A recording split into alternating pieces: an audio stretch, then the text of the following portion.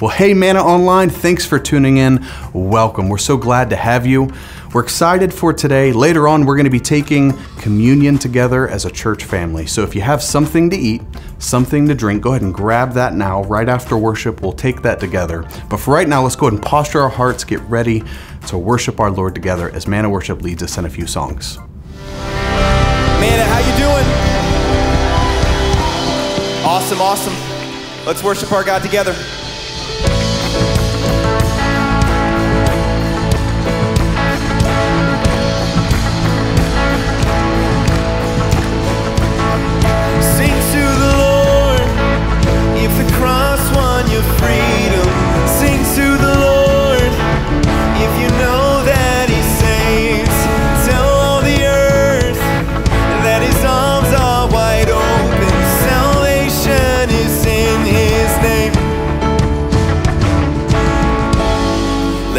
Lost be found. Let the blind eyes see. Let the music play. Let the people sing.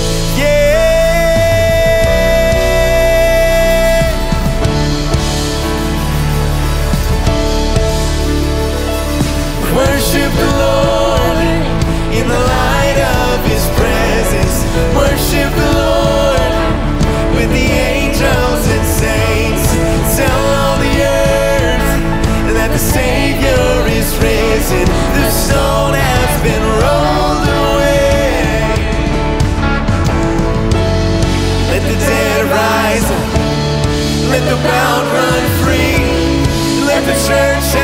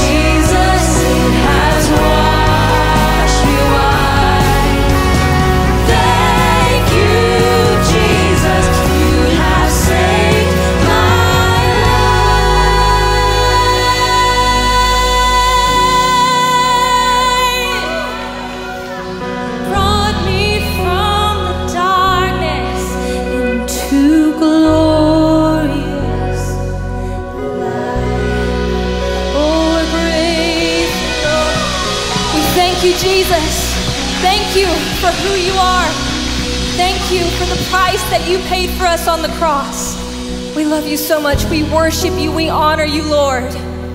In your name we pray. Amen. Amen. Amen. Amen. Hey, if you go ahead and grab whatever you have with you, we're going to take communion together. You know, when Jesus was with us, he left us with a few traditions. This is one of them. This is one of the sacraments we observe as believers, and we call it communion.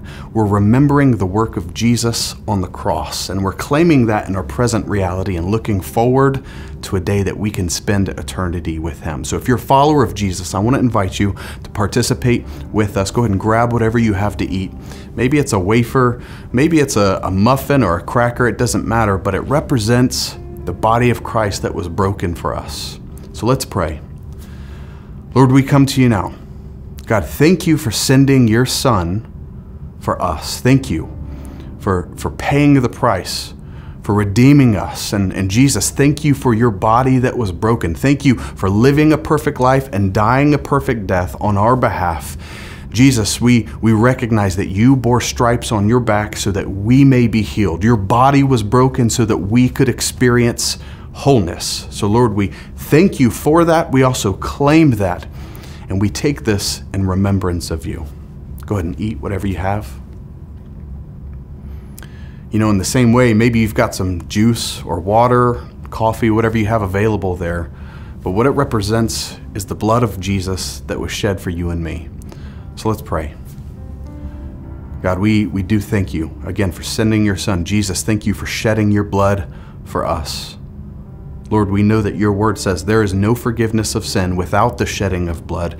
But thank you, Jesus, that you paid it all. There's nothing left for us to do. Every work you have accomplished, you accomplished it throughout your life and on the cross. You paid that price for us. Jesus, we take this in remembrance of you. Go ahead and drink whatever you have. Now, Lord, we look forward the day that we can spend eternity with you. We're so grateful for this new covenant that we have, this covenant of grace. We place our faith in you. We not just remember what you've done, but we look forward to the future realities that we can experience because of what you've done for us. But now, Lord, we don't just sit on our hands. We say yes and amen to everything that you have for us as your body, as your church. May we forcefully advance your kingdom everywhere we go. In Jesus' name, amen. Amen. Thanks for participating in communion with us. I want to say welcome, especially if this is your first time tuning in. If you've never tuned into Manna Online before, it's so good to have you. In fact, we'd love to get to know you a little better, see how we can serve you best. So do us a favor, if that's you, even if you need to pause the video, text the word guest to the number that's on the screen. We'd love to hear from you, see how we can serve you. Also, if you came prepared to give, we have a couple of easy ways you can do that. You can always give at our website, manna.church, or you can even download the Manna Church app on your smartphone, give through that, or you can even text the word manna to the number that's on the screen. If you prefer to send us something in the mail, you can look up our Cliffdale site location on our website, send it to the address listed there. But that's all I have for right now. We're excited for this sermon series. We're in part four of the sermon series called The Plan. But first, check out these video announcements.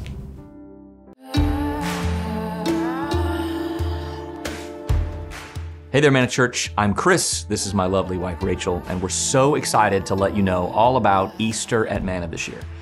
The reason that we celebrate Easter every year never changes. Jesus got up.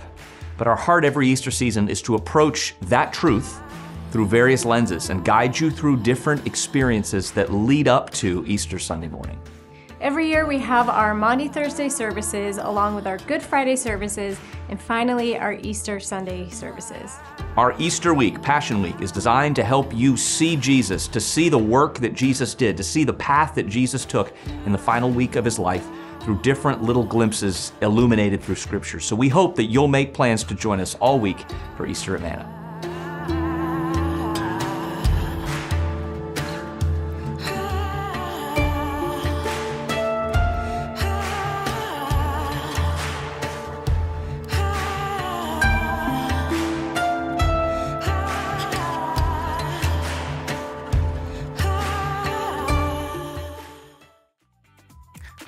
I'm Samuel Fletcher, and I'm one of the staff members of the Experience College Internship.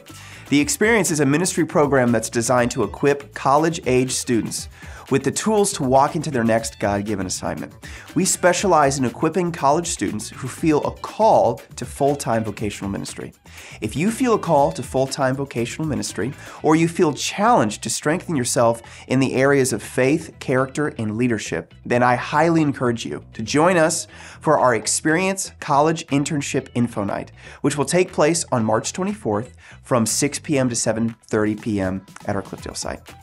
This is a free floating event with snacks and drinks, and you'll be able to interact with faculty from Manna University and the experience to get more information about the program. So we hope to see you there.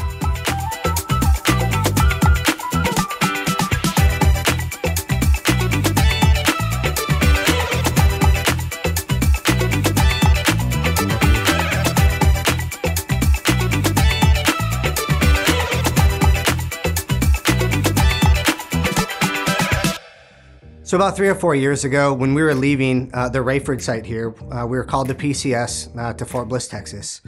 Um, and Pastor Nick Ertel asked us if we had thought about uh, planting a microsite. You know, and my wife and I discussed it and we prayed about it. Um, and honestly, it was a little scary, but we took that step of faith in God um, and we, we planted the microsite. I absolutely enjoy being here. I love reconnecting with some of the leaders. I love being able to get a new perspective on some of the things that we think we already know about. But if you have any questions at all about who we are, what God has called us to do, and where He's called us to go, the Multiply Conference is for you because you can hear from the people that are there the real experiences and the real life change that happens when you walk in what God has called you to do.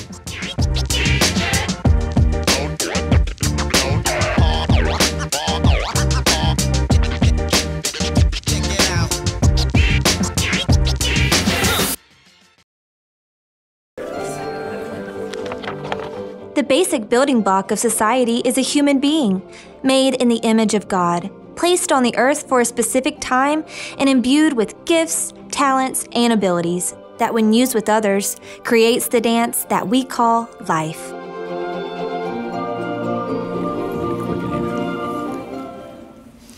What up, everybody? I want to welcome each and every one of you wherever you're joining us right now, whether you're right here in this room with me or wherever you are on the other end of that camera. Hello to our great, amazing microsites, our city sites, everybody all along the military highway. Hello and good day to you in the Manna Church Fayetteville Fort Liberty region at our amazing multi sites. And if you're joining us from Mana Online, YouTube, you just stumbled across it. Maybe someone's playing this and you're just stuck in the kitchen and they're in the living room. Whatever. Can we put our hands together and make them feel welcome?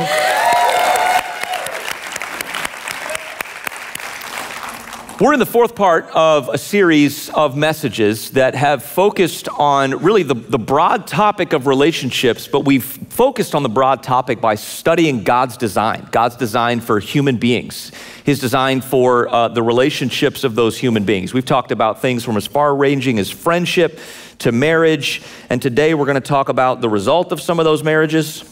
So far, we've studied in the books of Genesis and Ephesians, and this is an important bridge between the Old Testament and the New Testament. When Paul talks about Jesus' relationships with his church, he's using human relationships, Yeah. such as marriage, as an example, and he quotes from Genesis 2. He does. So, as we've said throughout this entire series, uh, you can stay engaged with us here at Manna Church. We upload these series to YouTube. And in addition to that, we've created another little stream of content on there called uh, Stuff We Didn't Say on Sunday, where we're, we're kind of, we're, we're focusing these sermons on really being explicit about what the Bible has to teach us about relationships and design, and then kind of reserving some of our own opinion and even more specific interpretations for that space. So you can, you can uh, subscribe on YouTube, you can follow along social media, they'll post that out, and you can comment and maybe tell us what you liked or what you want to hear more of. Actually, can I bring that up really fast and ask? I asked uh, during the podcast,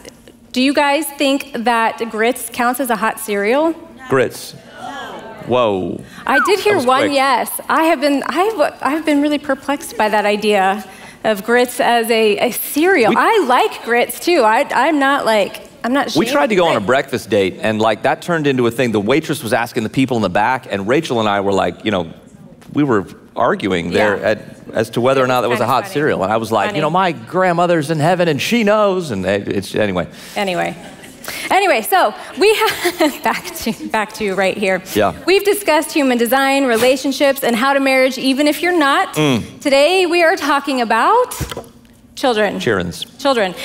Everyone here is someone's child, Mm. and some people have children. So this topic touches all of us. And I believe that children are our future. Teach them well and let them lead the way. Show them all the beauty they possess inside and give them a sense, wait, hold on, it's coming to me, of pride. oh, sing it. No. no, that's Okay. Whitney Houston. There's no way I'm going to even try to come anywhere close to that. No. Well, the Bible has a, a great deal to say about children, and being a daughter or son has some pretty cool blessings Yeah. for your life. That's good. So, we're going to open our Bibles to the books of, uh, to the book, not the books, to the book, singular, of Genesis. And so, as you're doing that, I'm going to start in Genesis chapter 1, verse 28 today. So, if you want to turn there, I, I want to begin the same way we've kicked off all these, and that's this little series within the series.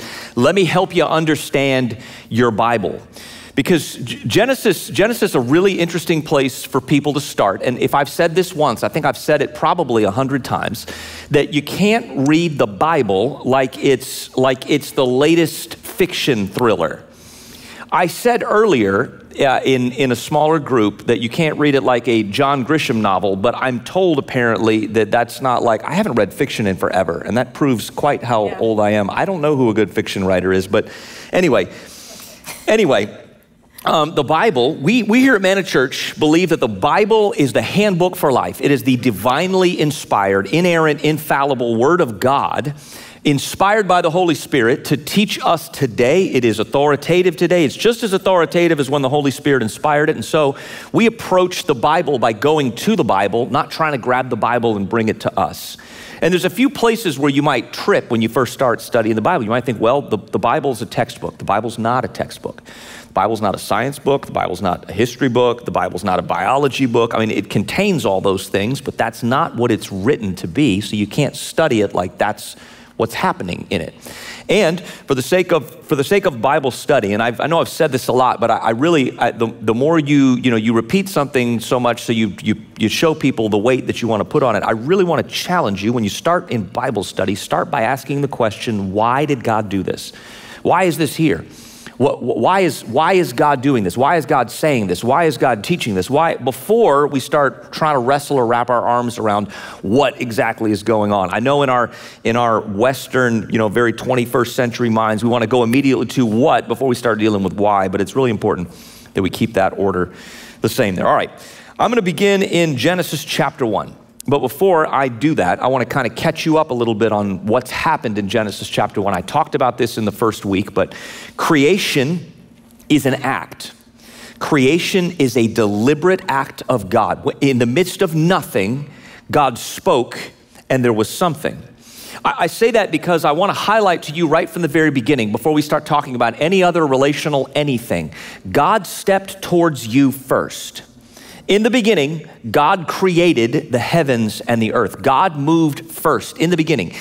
So what's happening is, is he's creating, he's, he's speaking, and things are unfurling. It's amazing, it's incredible. And then he uses his hands.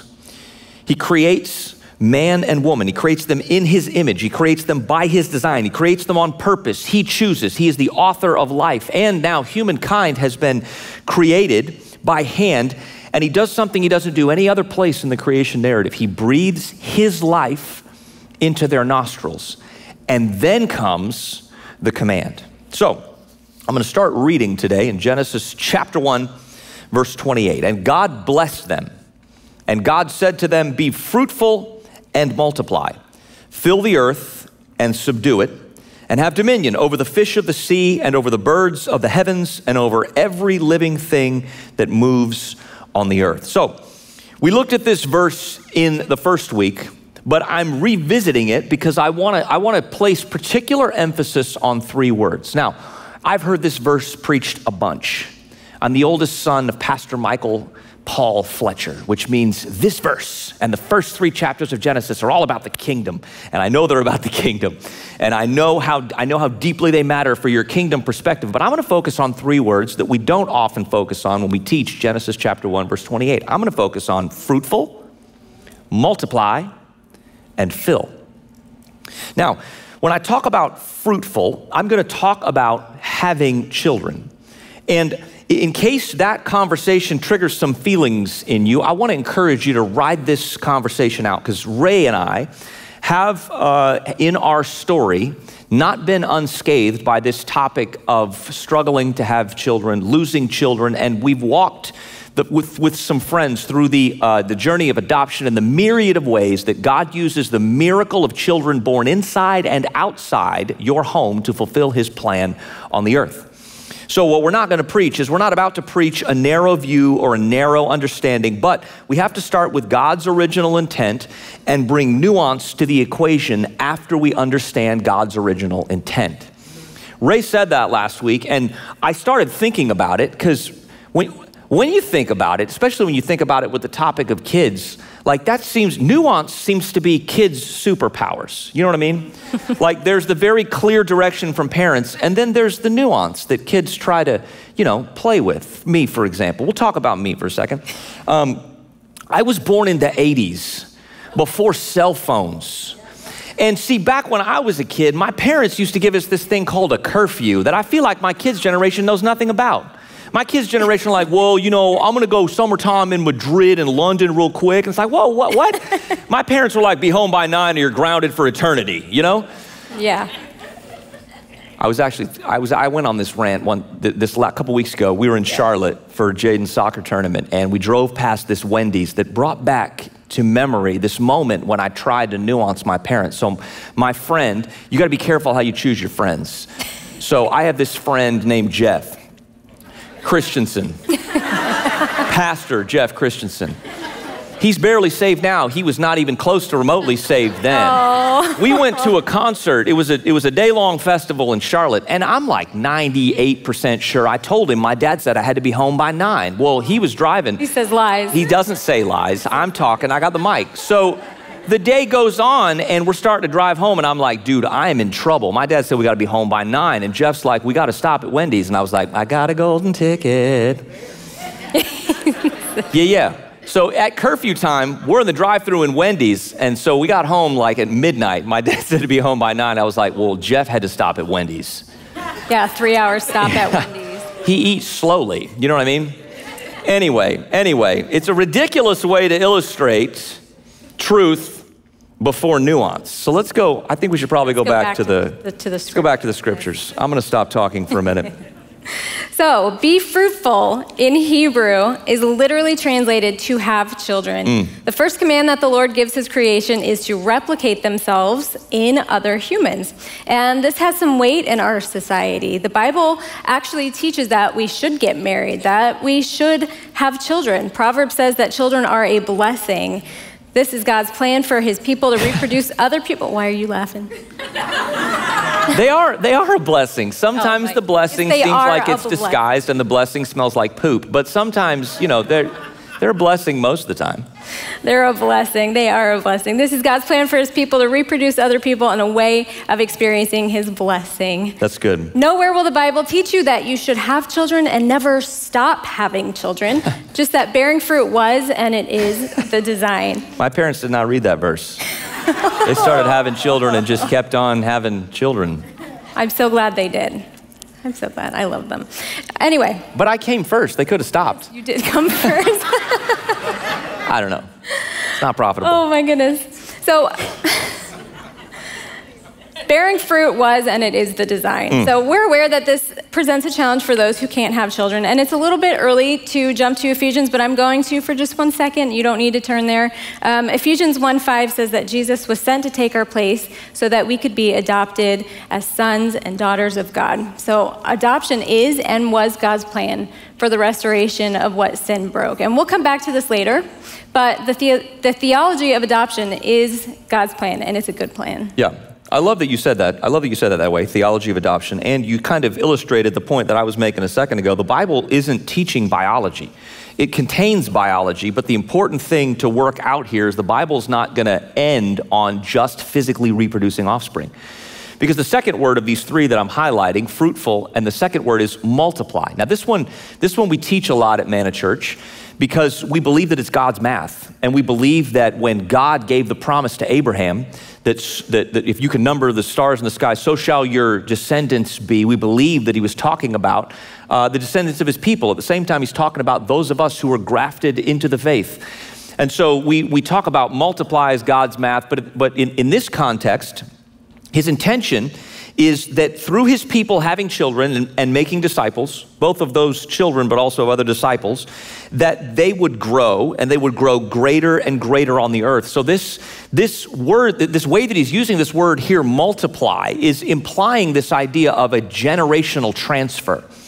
If God's first statement to humankind is biological, have offspring, the second statement is not. He's saying, transfer what you have to the generation that comes after you. Now, parenting and generational transfer are um, intimidating. It feels intimidating. I remember the moment we brought our oldest son home and closed the door, and I thought there's no like on-call nurse switch. Like I need, I don't know what to It do. come with a button. It feels so intimidating. The thing is, uh, this is the foundation of parenting. Take the wisdom, take the walk with God, take the resources, take the advice, take everything that you've been given by God and transfer that to them. So Proverbs 22, verse 6 says, Train up a child in the way they should go. Even when they are old, they will not depart from it.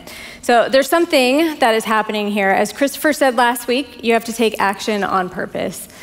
In order for this to work, in order for you to train your children, it's going to require that you think, that you plan, and that you take deliberate action on purpose in order to, to train the children. Mm-hmm. And this is where it's key to follow what God's calling us to do. So, step one, biologically replicate or grow our families through adoption. And step two, then you need to transfer and empower the next generation. They're both part of the equation. Don't just have children, but train Oof, children. that's good. Don't just have children, train children. This is why Christopher said what he said a minute ago how parenting doesn't end with actually just hmm. having the child. The ability to engage in biology is not the end of parenting. That's right. The third word is fill. Be fruitful, multiply, and fill the earth. God's plan from the beginning was always to create a people for himself, to create a species in his image, to create people, and then to place them on the earth to then reflect his glory and spread his glory. That was his plan. That was his plan from the jump. And th- th- this word fill is interesting because it's also used in places in the Old Testament where it talks about the consecration of, or uh, the consecrated process of ordaining priests. So, filling the earth, what, what's he saying? A people who are becoming consecrated, who are different, who are set apart, who are flowing against the default setting. We talked about default setting a number of times. Default setting is me, myself, I. That's my natural default setting. And so, what, what God is doing is placing a people on the planet who are going to demonstrate a different and better way. So, I think the text has given us what we're calling the threefold plan for parenting. The first is be fruitful. So, uh, what are you what are you saying? Listen, I, I'm saying the Bible the Bible is pretty clear. Some people are given the gift of celibacy. I understand that not everyone is going to marry. I get that. But what is the Bible saying? The Bible is actually saying it's good for you to marry, and then it's good to what? Have kids. It's good to have some. It's good to adopt some. Be in a family relationship. Now, let me talk let me talk about you in the relationship for a second. Whether your physical father or mother are your spiritual father or mother. You need, needed both in the past, and you need both now. And this is, this is on us who are parents and on us who are children. You know, you can't decide to be born, but you can decide to embrace parenting even if it's not done well. You can make a choice. Let, let me, let me say, let me say really, really quickly uh, on this on adoption because Rae, Rae said we are going to say something real quick about the theology of adoption. You know, the, the, the concept of adoption as practiced in the Roman world was really, really powerful because um, it, was, it was a practice of the first century. If a Roman family did not want the child, they would carry the child to term and then just toss the child out. It's called infanticide, is what it was called. So the Christians would come and adopt these children, take them into their home, they would raise them as believers. The thing about the concept of adoption, though, that's so earth shattering is that in Roman culture, you could disinherit a natural born child. You could have a child and go, you know what, so and so is a turkey, and I don't like this child, and I'm going to therefore disinherit this child. But a child you had adopted was your child for life. So when Paul talks about this concept of adoption, and really I think the beauty of, of this Christian idea of adoption, it really begins with the Christians and really is formulated in the first century where this idea is that I'm going to choose to step in and take the place of someone who didn't do this right, and I am yours and you are mine for life. And it's a really, really deep and beautiful and powerful idea. That's good.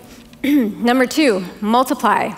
So we're talking about generational transfer. However, those children came into our home, it is our job um, to be the primary providers of wis- uh, wisdom, protection, provision, care, etc., covering all of that. Generational transfer doesn't mean that you, the parent, have to know everything. Thank God. Um, actually, I think becoming a parent is when you realize, oh my goodness, you don't know anything. then they turn Then they turn to teenagers, and then your teenagers like to remind you that you also don't know anything. you know nothing. You don't also, you've never been this age before. right. So that's the great thing. Generational transfer doesn't mean that you have to know everything, Yeah. but you're the one making sure that learning is happening, that Ah, we're consistently yeah, yeah, learning yeah, things. yeah, So yeah. This changes as they mature, and literally eating food is is a great example. My mom, my, my mom used to say, or my mom has actually told me, Christopher, it's not your job to feed everybody. It is your job to make sure they eat. Right. Yeah. Yeah. So Write that down. Words of advice by Laura. I'm going to write a book full of things mom said. that'd be great. Yeah. So let's talk about eating food. I was in trouble a lot, so I know a lot of things that mom said. a lot. John does John knows nothing of what mom said. John was perfect, born perfect. I was born, I don't know. I think be the foil. Perfect. All right, so let's talk about eating food.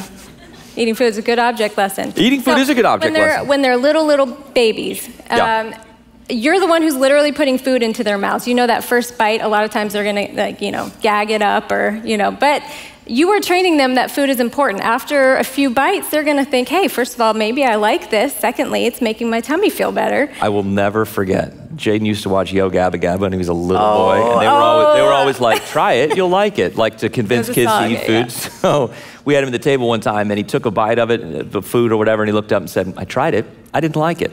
yes. He was two. Well, that backfired. Oh man. Uh, so anyway, when they get older, they might learn to put the spoon into their mouths. But you're the one cooking, setting the table, everything else. You're not training meal preparation yet, but you're training them how to put the food into their mouths. Then they start setting the table and feeding themselves, and even helping with cleanup, which is amazing. Mm. But you're still the one cooking. You're training them how to be responsible. They, they are learning responsibilities now.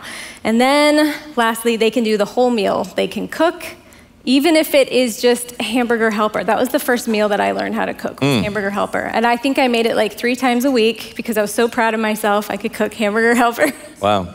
anyway, so you're, You, you grew up with health nuts. Yes. Yeah, good. Big time. Yeah, love it. So, so you're teaching your child that they can cook the whole meal. They're, they're cooking, they're not just feeding themselves, but they're preparing it all, they're cleaning it up.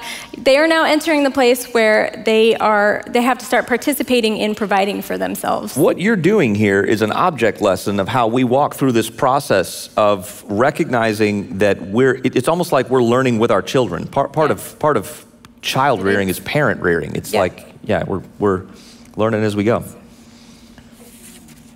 It sounds very simple, doesn't it? It, yeah, it does sound simple. Sounds very, very simple. It does sound simple, and I, I said this to you earlier, but I remember when we started talking about like the kids and how to raise them and whatnot. It does sound simple, and at the same time, what we've discovered along the way, and we're by no means done and/or experts, Yeah. right? Like, I mean, our kids could, you know, I don't know, grow up and start a Ponzi scheme. Who knows? Um, they could be online cyber criminals. You never know. Probably not, but you know, um, is the number of times that th- that we would bump into challenges and things would change, and we would Yeah. adapt as we went along. So, yeah, So that's what we mean when we say multiply or generational transfer. Yeah. So under this point, uh, let's let's jump in Scripture. We're going to go to Ephesians chapter six because generational transfer is a two-sided coin. There's the giving side, which Rachel just kind of, uh, in a very clever way, illustrated with the idea of helping children through the process of learning how to feed themselves to eventually learning to sustain themselves with food. Uh, but there's a two sided coin. There's the giving side, which, which she just talked about, but there's also the receiving side of this coin. Ephesians chapter 6, verses 1 through 4. Children, obey your parents in the Lord, for this is right. Honor your father and mother. This is the first commandment with a promise that it may go well with you and that you may live long in the land. Fathers, do not provoke your children to anger, but bring them up in the discipline and instruction of the Lord. There- There's lots of there are lots of key words in here, but let me go through a few of them in kind of in kind of short order. The first is children. Now, when Paul's talking to children, believe it or not, what Paul's not doing is going, cut this part of the letter out and read it in Sunday school.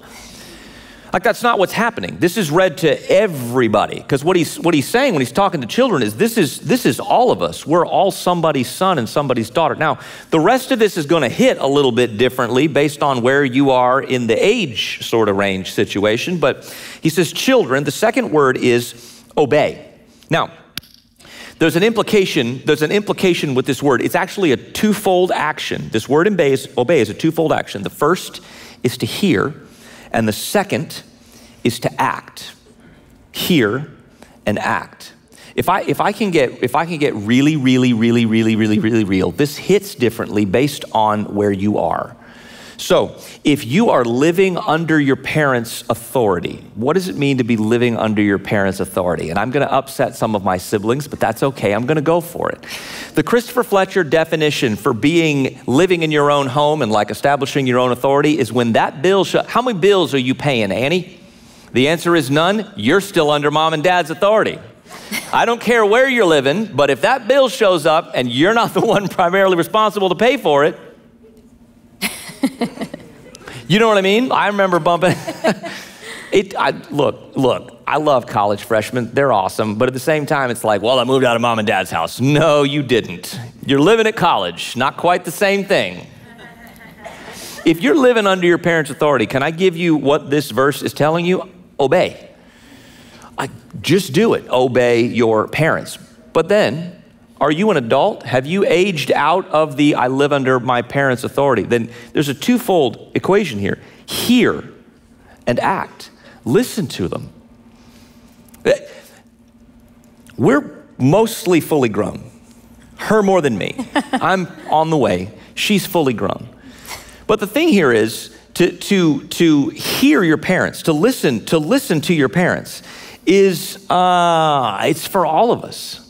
Now I know I know that that hits based on on your relationship with your parents and how that went, how that. But don't worry, it's going to get heavier in a second. We're going to talk about honor in a second.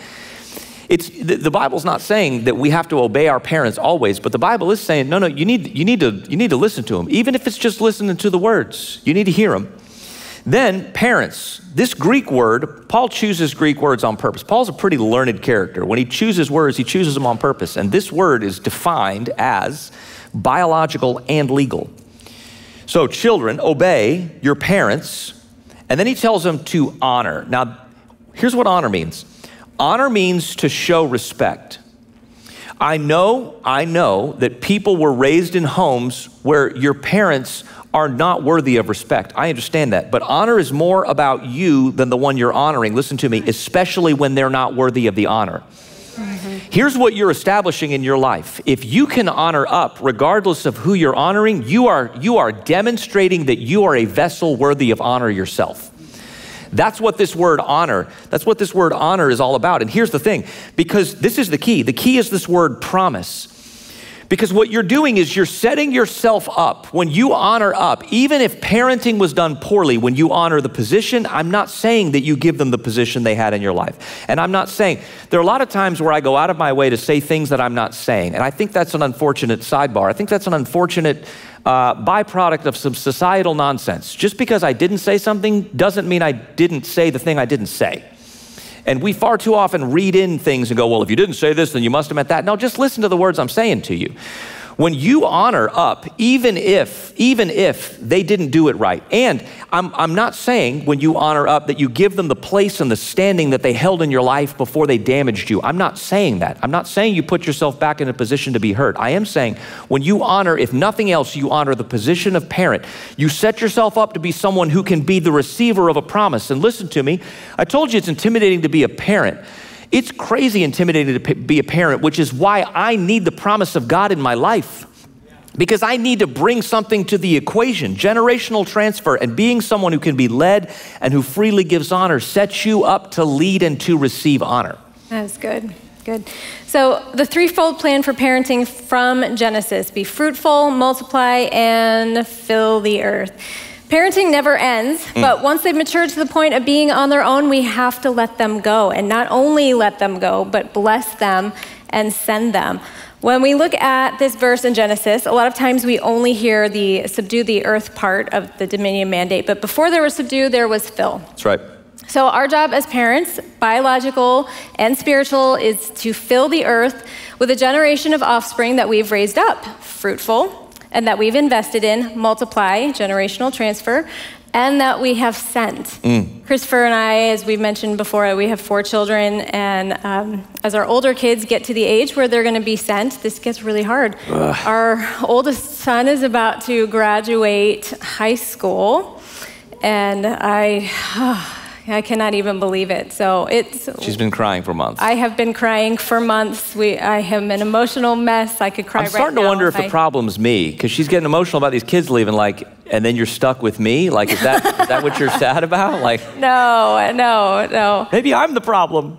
So, no, no. No. Okay. Good. Not at all. Glad we got that no, out of so the we're way. we're at that place in our lives right now where we're facing this. You know, we're gonna send Jaden out, and um, it is hard. But when we when we were first married, you know, we started talking about our end. What was our our end goal with raising children? And so, you know, you have to raise your children in what are the things that you want them, you know, for their lives. So you have to keep that in mind. Yeah, recognizing that it, it changes and shifts as you go. When, when your kids are two, you've got plans for college. You got plans for college, and then Yeah. they're 18, and it's like, uh, so, you know, maybe not NASA. Yeah. I don't think we can afford engineering school, you know? Let's, let's dial this back a notch. So, before we conclude, um, I want to finish off with just a way too fast overview of some of what the Bible has to say about some really practical do's and don'ts about how to parent God's way. The first is discipline. Proverbs says that a child left to themselves disgraces their parents. Proverbs says to discipline them because by doing that, you give them a future. Our, our, our Ephesians 6 text says to bring children up in the discipline. Some other translation says discipline and instruction. The ESV I read to you today says. Some other translations say the discipline and the fear of the Lord. Here's the thing about discipline. You ready for the, you ready for the hack for discipline? Never discipline in anger. Yeah. Never. Never discipline in anger. Most discipline questions center around where's the line? What do you do? What do you not do? What's in? What's out? I have always answered that question by asking, where is your heart? Yeah, so discipline never involves saying mean things to your children or belittling them or speaking curses over their lives, you know, such as like, you never, um, why are you so difficult? Why are you so difficult? Stop. Don't speak a curse over them. No matter how old your children are, it is never okay to speak curses or negative words over our children. Curses are negative words spoken about your children, um, about what you're, what you're seeing in the moment without the faith to see change happen in their lives. That's what good. curses are. So, for example, your child comes in late. Sounds familiar? I did sow it. I guess I'm reaping it. Your child comes Hush. Your child comes in late. Speaking curse would sound like you're never on time. You're always late to everything. Mm. Wait a second, though. Are they late? Yes. Did they disobey? Yes. Yes. But a non curse response would be like, You were late. I told you not to come home late, and now that there are going to be consequences. Um, one response spoke to what was happening, but didn't outline to the child how they could fix the problem. And then the other addressed what was happening and basically only focused on this is how we're going to fix this issue. So, whatever form of discipline you're using, again, like he mentioned, it is never out of anger. If it's out of anger, it is not right. Discipline should be swift and clear, but never out of anger and never for the purpose of damaging your children. That's right. We're disciplining them to mold their wills, not to crush or um, belittle them. That's, that's, a, that's a Michael Fletcherism right there, if I ever heard one. We are disciplining to get at the will, not to damage or crush the spirit. And we're not disciplining to modify behavior. So, you know, we talk about in conflict with people, we talk about, you know, don't, don't judge people's motives. Well, if they're little kids, you better as heck judge their motives. That's what you're shaping are the motives. You're not, we're not in the behavior modification business. I don't want kids who are really good at basically hiding their curmudgeonry from me. I want to get at the I want to get at the heart of the issue. All right. The next point is provision. Matthew has a beautiful passage in the Sermon on the Mount where Jesus talks about prayer and he uses parenting as the analogy. Matthew chapter 7, uh, verses 9 through 11. Or which of you, if his son asks him for bread, will give him a stone? Or if he asks for a fish, will give him a serpent? If you then, who are evil, know how to give good gifts to your children, how much more will your Father who is in heaven give give good gifts to those who ask him? Now, I know it's an analogy. I get that. But the point is still clear. We provide for our children the way God provides for us. How does God provide for you? Good things, bountifully, not withholding. Can, can I, can, I be, can I be really frank for one second? Be your kid's chief encourager and cheerleader. When when I say, uh, when I talk about good things, most people's mind immediately runs to, well, you got to buy your kids a bunch of good stuff. I'm not saying you don't deny your kids stuff. I am saying that the place where this is the easiest to action is your children are growing up in a world where confidence and verbalized love are in short supply, and you should be overflowing with those absolutely overflowing with, with being the, the- look, you be their cheerleader. The world, social media, uh, people on their job, people that bump into them are going to tell them they don't measure up, they're not good enough, they're not smart enough. Everyone's going to say that to them. They don't need to hear that from you. You, you pump, you pump them up. And if I can, for just one second, um, I have one son, so I tell him he's my favorite son. But at the same time, he's my least favorite son. He's like all, it's all, you know, it's all wrapped into one. He can be any in any given moment. I have, I have three daughters. And let, let me just, let me just say for one teeny tiny bit, tell your children, especially your daughters, that they are smart, that they matter, that their opinion matters, that they're beautiful. And I'm talking about praise their outward appearance. Yes. I hear people all the time talking about, well, you got to be careful. You don't want your kids to be proud. You know what? You let God worry about their pride and you tell them they're amazing, made on purpose for a purpose, and they can do anything. Yes. That's what they hear from you. Yeah. So as we've already pointed out in Ephesians 6, it's our job to guide our children. First, This point is guidance. You skipped that. oh, I did skip You that. did. Guidance. Guidance is this point, yes. They just got to know to put it up. Okay, sorry. Boom. First, in their walk with God. So, we're going to guide them in their walk of God first. This means a life of personal devotion and making the fellowship of believers a priority. Mm. So, um, Go ahead. example, you know, in, in kids ministry or in um, students, students to be with like-minded children their age who can, um, who, I was, we, we are products of amazing parents. Yes. That's not a question. The thing is, it wasn't just our parents and us all by ourselves. We grew up Yes. around people and kids and teenagers who thought like us. Yeah, And so, what that empowers your children to be able to do is to find a safe place to normalize walking with Jesus in the really weird place where, you know, I don't know if you remember, those of you who are my age, I don't know if you remember being 16 and 17, but it ain't easy, and it didn't get any easier. right. Yeah.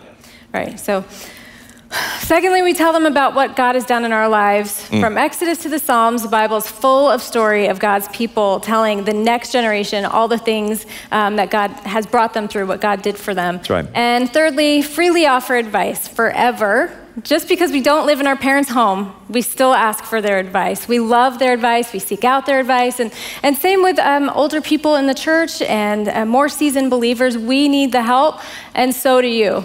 And when you're saying we, you're not talking about we as in like the proverbial versions of us. Right. Th- that is that is our practice. It is. We don't make big life decisions without seeking out advice. yes, from our parents, our physical parents. At the same time, from people that that love us and that have our best interest. And Yeah.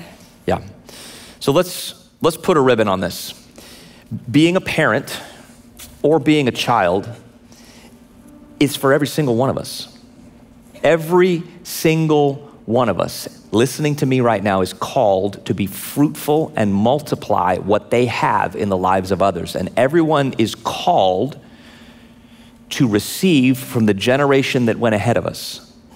Every one of us, regardless of how old you are, every one of us is called to receive from others. We are meant to be disciples, which means what? We are meant to receive discipleship. At the same time, we are called to engage in discipleship by leading and providing for and pouring ourselves out for the generation that comes after us. We here at Manna Church, we call this mentoring and we call this being mentored.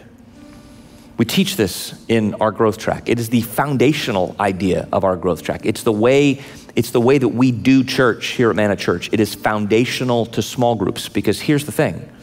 God created you on purpose and for a purpose. When you walk into the room, the presence, the person of the Holy Spirit, the presence of God goes with you.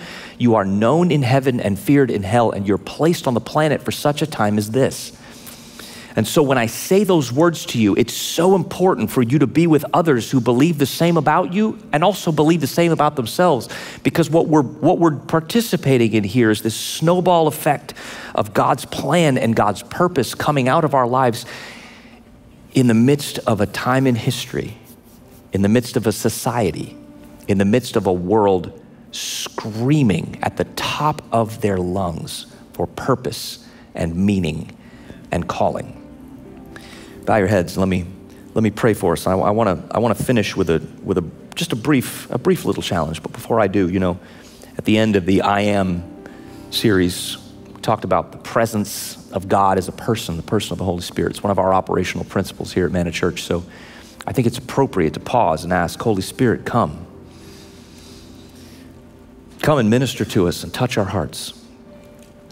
I want to finish with a challenge. And the reason I asked Holy Spirit to come is I don't want you to do what I tell you to do. I want you to do what He tells you to do. But I want to put the challenge into two camps. I believe we should challenge ourselves to take a step towards our parents. For some of you, that's going to hit a little bit differently. And I want you, with the Holy Spirit, to work out what He's saying to you when you say that. And and the other challenge everyone take a step towards your children, even if you don't have them yet. Holy Spirit, we love you. We're your people. Pray that you'd come and speak to us. Come your kingdom, be done your will in our lives on earth as it is in heaven. In Jesus' name.